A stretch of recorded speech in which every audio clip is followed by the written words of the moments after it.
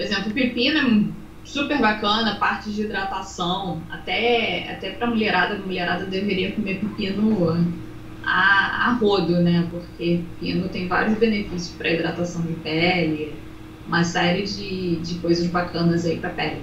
É, mas aí teve a saladinha. Sem você botar no olho também, você come também o pepino, né? Bom saber. É, é, não basta só colocar nos olhinhos, não. Tem, é, é bom para tirar as bolsinhas, né? Para tirar as olheiras, mas é, o mais importante é a gente sempre comer. É, o, o que a gente passa no corpo é a cerejinha do bolo, né? Mas é, o que a gente come que, que realmente vai dar a base, vai dar a estrutura de produção de tudo que a gente precisa para estar tá tudo em dia, tudo em ordem.